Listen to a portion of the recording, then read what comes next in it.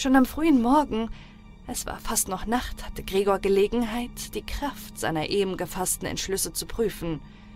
Denn vom Vorzimmer her öffnete die Schwester, fast völlig angezogen, die Tür und sah mit Spannung herein. Sie fand ihn nicht gleich, aber als sie ihn unter dem Kanapee bemerkte, Gott, er musste doch irgendwo sein, er hatte doch nicht wegfliegen können, erschrak sie so sehr, dass sie, ohne sich zu beherrschen zu können, die Tür von außen wieder zuschlug.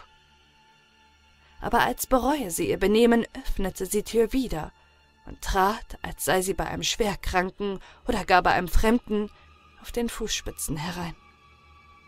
Gregor hatte den Kopf bis knapp zum Rande des Kanapees vorgeschoben und beobachtete sie. Ob sie wohl bemerken würde, dass er die Milch stehen gelassen hatte, und zwar keineswegs aus Mangel an Hunger, oder ob sie eine andere Speise hereinbringen würde, die ihm besser entsprach?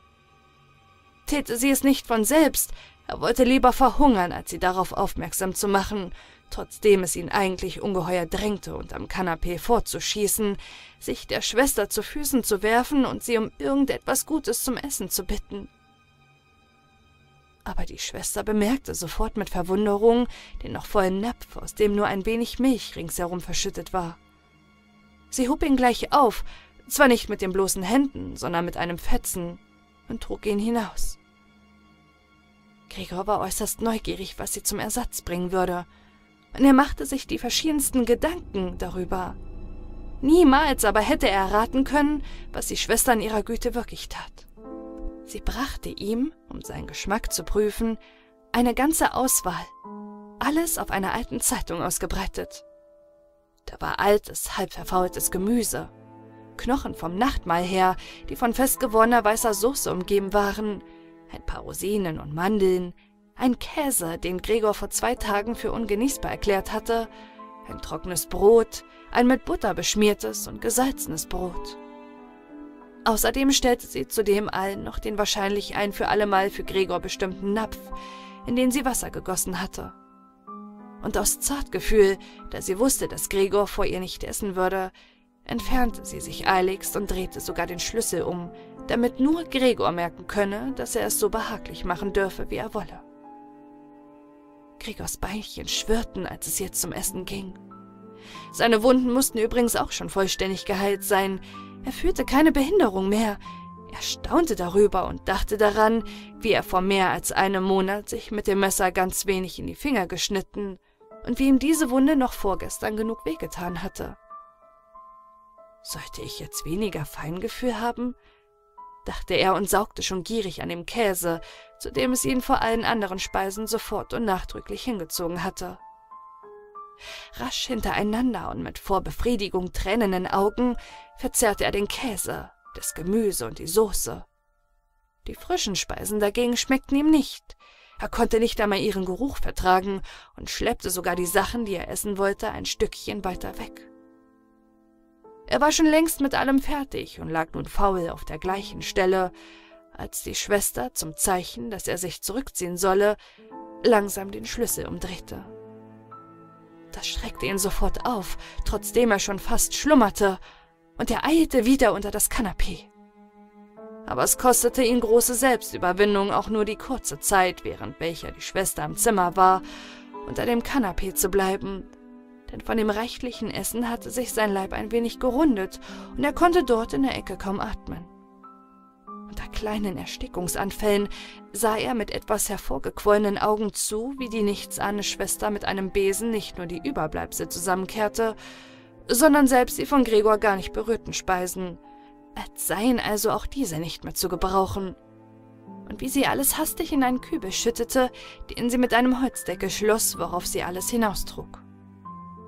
Kaum hatte sie sich umgedreht, zog sich Gregor schon unter dem Kanapee hervor und streckte und blähte sich. Auf diese Weise bekam nun Gregor täglich sein Essen, einmal am Morgen, wenn die Eltern und das Dienstmädchen noch schliefen, das zweite Mal nach dem allgemeinen Mittagessen, denn dann schliefen die Eltern gleichfalls noch ein Weilchen, und das Dienstmädchen wurde von der Schwester mit irgendeiner Besorgung weggeschickt. Gewiss wollten auch sie nicht, dass Gregor verhungere, aber vielleicht hätten sie es nicht ertragen können, von seinem Essen mehr als durch Hörensagen zu erfahren. Ja, Vielleicht wollte die Schwester ihnen eine möglicherweise nur kleine Trauer ersparen, denn tatsächlich litten sie ja gerade genug. Mit welchen Ausreden man an jenem ersten Vormittag den Arzt und den Schlosser wieder aus der Wohnung geschafft hatte, konnte Gregor gar nicht erfahren, denn da er nicht verstanden wurde, dachte niemand daran, auch die Schwester nicht, dass er die anderen verstehen könne. Und so musste er sich, wenn die Schwester in seinem Zimmer war, damit begnügen, nur hier und da ihre Seufzer und Anrufe der Heiligen zu hören. Erst später, als sie sich ein wenig an alles gewöhnt hatte, von vollständiger Gewöhnung konnte natürlich niemals die Rede sein, erhaschte Gregor manchmal eine Bemerkung, die freundlich gemeint war oder so gedeutet werden konnte. Heute hat es ihm aber geschmeckt, sagte sie, wenn Gregor unter dem Essen tüchtig aufgeräumt hatte, während sie im gegenteiligen Fall, der sich allmählich immer häufiger wiederholte, fast traurig zu sagen pflegte, nun ist alles wieder stehen geblieben. Während aber Gregor unmittelbar keine Neuigkeit erfahren konnte, erhorchte er manches aus den Nebenzimmern. Und wo er nur einmal Stimmen hörte, lief er gleich zu der betreffenden Tür und drückte sich mit ganzem Leib an sie. Besonders in der ersten Zeit gab es kein Gespräch, das nicht irgendwie, wenn auch nur im Geheimen, von ihm handelte.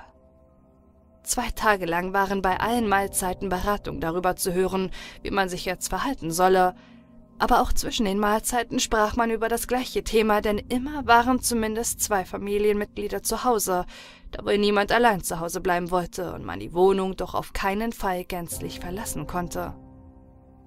Auch hatte das Dienstmädchen gleich am ersten Tag, es war nicht ganz klar, was und wie viel sie von dem Vorgefallenen wusste, kniefällig die Mutter gebeten, sie sofort zu entlassen.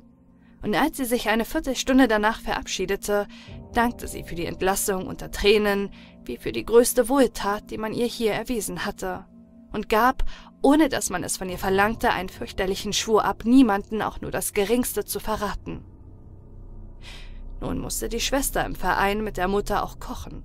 Allerdings machte das nicht viel Mühe, denn man aß fast nichts. Immer wieder hörte Gregor, wie der eine den anderen vergebens zum Essen aufforderte und keine andere Antwort bekam als Danke, ich habe genug oder etwas ähnliches. Getrunken wurde vielleicht auch nichts. Öfters fragte die Schwester den Vater, ob er Bier haben wolle, und herzlich erbot sie sich, es selbst zu holen, und als der Vater schwieg, sagte sie, um ihm jedes Bedenken zu nehmen, sie könne auch die Hausmeisterin darum schicken. Aber dann sagte der Vater schließlich ein großes Nein, und es wurde nicht mehr davon gesprochen. Schon im Laufe des ersten Tages legte der Vater die ganzen Vermögensverhältnisse und Aussichten sowohl der Mutter als auch der Schwester dar. Hier und da stand er vom Tische auf und holte aus seiner kleinen Wertheimskasse, die er aus dem vor fünf Jahren erfolgten Zusammenbruch seines Geschäfts gerettet hatte, irgendein Beleg oder irgendein Vormerkbuch.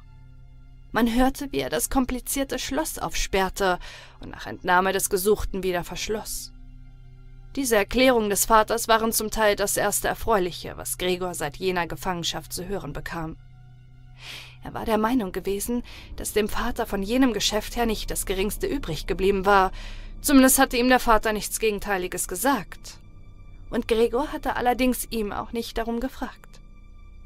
Gregors Sorge war damals nur gewesen, alles daran zu setzen, um die Familie das geschäftliche Unglück, das alle in eine vollständige Hoffnungslosigkeit gebracht hatte, möglichst rasch vergessen zu lassen und so hatte er damals mit ganz besonderem Feuer zu arbeiten angefangen und war fast über Nacht aus einem kleinen Kommiss ein Reisender geworden, der natürlich ganz andere Möglichkeiten des Geldverdienens hatte und dessen Arbeitserfolge sich sofort in Form der Provision zu Bargeld verwandelten, das der erstaunten und beglückten Familie zu Hause auf den Tisch gelegt werden konnte. Es waren schöne Zeiten gewesen, und niemals nachher hatten sie sich, wenigstens in diesem Glanze, wiederholt trotzdem Gregor später so viel Geld verdiente, dass er den Aufwand der ganzen Familie zu tragen imstande war und auch trug.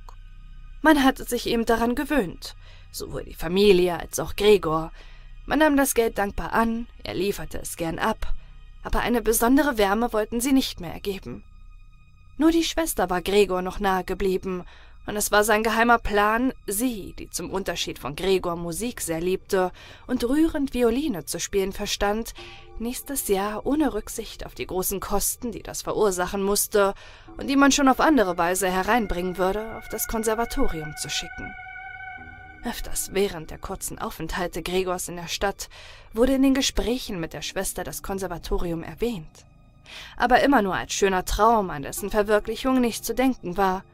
Und die Eltern hörten nicht einmal diese unschuldigen Erwähnungen gern.